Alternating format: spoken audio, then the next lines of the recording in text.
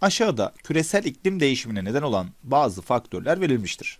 Bu faktörlerden hangileri beşeri koşullarla ilgilidir? Biliyorsunuz ki beşeri koşullar insan ve insana bağlı olarak ortaya çıkan faktörlerdir. Yörünge ve eksen eğikliğinin değişmesi bu fiziki, doğal bir faktör. Levha hareketleri doğal bir faktör. Sanayileşmenin artması ise beşeri koşullar yani insan müdahalesi ya da insana bağlı olarak ortaya çıkan durumlara örnektir. Ki sanayileşme ile birlikte arkadaşlar atmosferdeki gazlar karbondioksit özellikle artış gösteriyor. Bu da iklim değişiminde yine bir etken oluyor. Fosil yakıt dediğimiz linyit, petrol, doğalgaz, taş kömürü gibi yakıtların kullanımı sonucu atmosferde yine karbondioksit oranı artmaktadır. 3 ve 4'ün beşeri koşullar, 1 ve 2'nin doğal koşullar olduğunu söylemiştik. O yüzden doğru cevabımızın E şıkkı olduğunu dikkate alabiliriz. Günümüzde sanayi ve termik enerji üretiminin fazla olduğu alanlarda küresel ısınmaya neden olan karbon salınımı da fazladır. Termik enerji dediğimiz fosil yakıtların özellikle yakılmasıyla elde edilen, üretilen enerjidir. Yani linyit, petrol, doğalgaz ve taş kömürünü burada daha önce de dikkate almıştık. Bu duruma haritada numaralanmış alanlardan hangileri örnek gösterilebilir? Bir numara arkadaşlar Avrupa. Avrupa'da özellikle bahsedilen durumda e, sanayileşmenin olması, yine santraller, enerji üretiminin olması burada örnek verilecek yerlerden biridir. İki numara ki Çin'in özellikle doğusunda Şangay gibi merkezlerde yine sanayileşmenin fazla olduğunu söyleyebiliriz. Bunun yanında 4 numara Şili gibi alanlar. Afrika zaten e, çok gelişmiş bir yer değil arkadaşlar. Sanayileşmiş bir yer değil. 5 numara ki bulunduğu alanda çok fazla sanayileşme görmüyoruz. Daha çok turizm gibi faktörler de öne çıkıyor.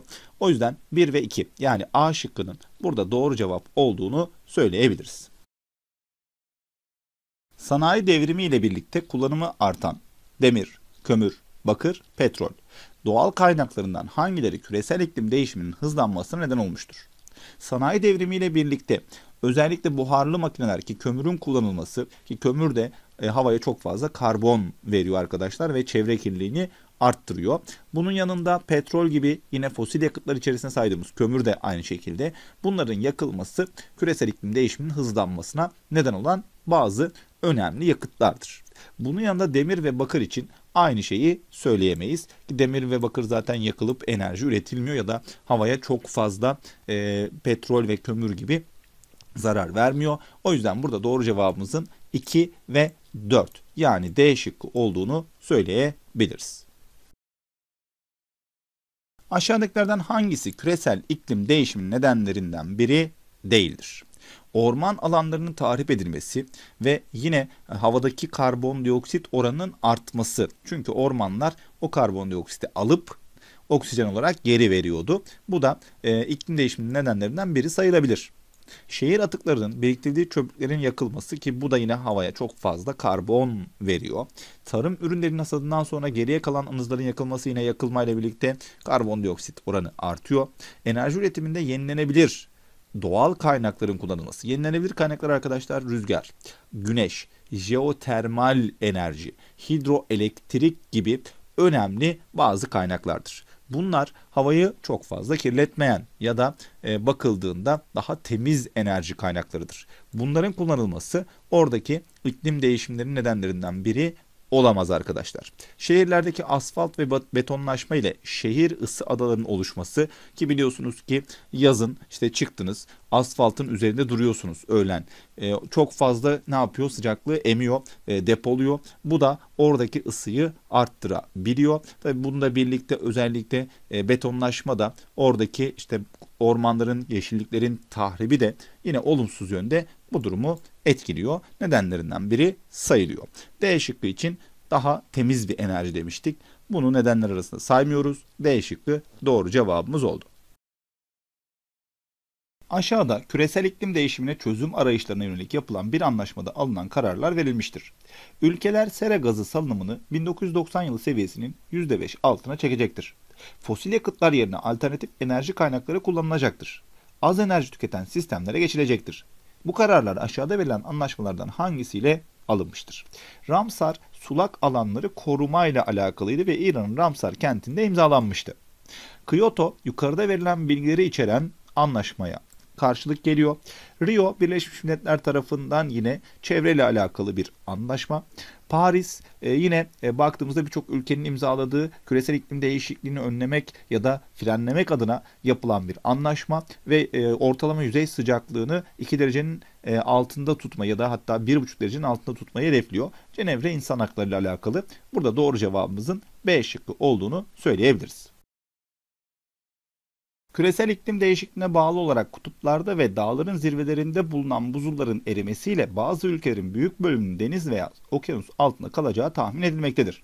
Buna göre bu sorun ülkelerin hangilerine daha fazla etkili olmaktadır ya da etkili olması beklenir. Hollanda ki daha çok deniz doldurularak elde edilmiş alanlarıyla öne çıkıyor. Ve bu da yine deniz ve okyanus altında kalma ihtimalinin yüksek olduğu ülkelerden birisi. Çünkü deniz seviyesine oldukça yakın. Bunun yanında arkadaşlar burada özellikle Danimarka'yı da Hollanda, Danimarka gibi ülkeleri de alabiliriz. Norveç daha dağlık. İspanya'da yine dağlık alanlar var. Yani bu alanlar ya da ülkeler içerisinde e, yukarıda verilen sorunun daha fazla etkili olacağı, yine deniz seviyesine daha yakın olan ülkeler bazında e, 1 ve 3'ü yani B şıkkını dikkate alabiliriz. Küresel iklim değişimine bağlı olarak bazı afetlerin sıklığının artması beklenmektedir. Buna göre küresel iklim değişimiyle aşağıdaki afetlerden hangisinin artması beklenmez? Kuraklık, sel ve taşkınlar, aşırı sıcaklık, orman yangınları iklim ile alakalı olmaktadır. Ama tsunami özellikle deprem sonrası meydana gelen jeolojik afetler arasında değerlendirilebilir. İklim değişimlerinin bunda etkisinden söz edemiyoruz. O yüzden doğru cevabımızın C şıkkı olduğunu söyleyelim.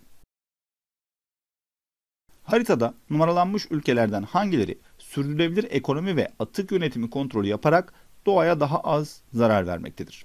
Verilen özelliğin daha çok gelişmiş ülkelerde kullanıldığını ve öne çıktığını söyleyebiliriz. Buna bağlı olarak da bir numara ki İskandinav ülkeleri Norveç, İsveç, Finlandiya gibi ülkelerde özellikle bu atık yönetimi işte çöp alıyorlar zaman zaman dışarıdan e, çöpleri yetmiyor arkadaşlar. Bunun gibi özellikler. İki de e, özellikle Japonya kısmında tabii ki dünya teknoloji ve atık yönetiminde oldukça önemli bir ülkedir. E, bunun yanında Orta Amerika, yine Güney Amerika ülkeleri ki çok gelişmemiş ülkeler bunlar. Afrika ülkeleri zaten yine aynı şekilde bu yönetimi çok fazla yapamıyor arkadaşlar. O yüzden doğru cevabın 1 ve 2 olduğunu, daha gelişmiş ülkeler olduğunu söyleyebiliriz. O yüzden de doğru cevabımız A şık olarak dikkate alınabilir. Kutup ayılarının doğal yaşam alanlarının daralması. Okyanusların ısınması ile balık ve plankton sayılarının azalması ya da yer değiştirmesi, planktonlar balıkların beslendiği mikroorganizmalar, küçük canlılar olarak değerlendiriliyordu. Tropikal bölgedeki mercanların ölmesiyle beyaz kayalara dönüşmesi, bazı kurbağa türlerinin sayılarının azalması. Bu sorunların ortaya çıkmasına neden olan çevre sorunu aşağıdakilerden hangisidir? Bu arkadaşlar küresel iklim değişikliği ile alakalı. Örneğin kutuplarda buzullar eriyor e, ve kutup ayılarının doğal yaşam alanları daralıyor. Bunun yanında baktığımızda tropikal bölgelerdeki e, mercanların ölmesi yine oradaki iklimin değişmesiyle alakalı. Yani burada küresel iklim değişiminin doğru cevap olduğunu D şık olarak doğru cevabı yine dikkate aldığımızı söyleyebiliriz. Küresel iklim değişikliğine karşı etkilerinin azaltılması ve değişen iklim özelliklerine uyum sağlanması şeklinde iki önlem alınabilir. Aşağıdakilerden hangisi küresel iklim değişiminin etkilerini azaltmaya yönelik çalışmalardan biridir? Bakın ikiye ayırdık. Etkilerini azaltmaya yönelik çalışmalardan birini istiyor. Yani burada uyum sağlanması şeklindeki durumu istemiyor. Demek ki şıklarda bir tanesi etkilerin azaltılması, diğerleri ise uyum sağlanması şeklinde bir özellik olacak. Binalarda ısı yalıtımı yaparak daha az enerji tüketimini sağlamak, özellikle havadaki karbon salınımını azaltmak anlamına geliyor. Bu da etkisinin azalacağı anlamında değerlendirilebilir. Ama bunun yanında su kaynaklarının yönetimi, sel ve kuraklık gibi afetler, can ve mal kaybını daha da azaltmak bazı önlemler alarak. Bunlar uyum sağlanması kısmındaki özelliklerdir arkadaşlar. Yani şu dört tanesi uyum sağlama, birinci şıklımızdaki ise etkilerin azaltılması şeklinde yorumlanabilir. Zaten azaltmaya yönelik etkilerini şeklinde bir kısım önemli burada. A şıkkı doğru cevabımız oldu.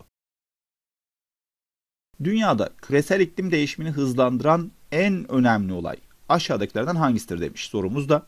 Tabi burada e, birçoğu iklim değişimine sebep olabiliyor ama burada hızlandıran en önemli faktörü dikkate almak gerekiyor arkadaşlar.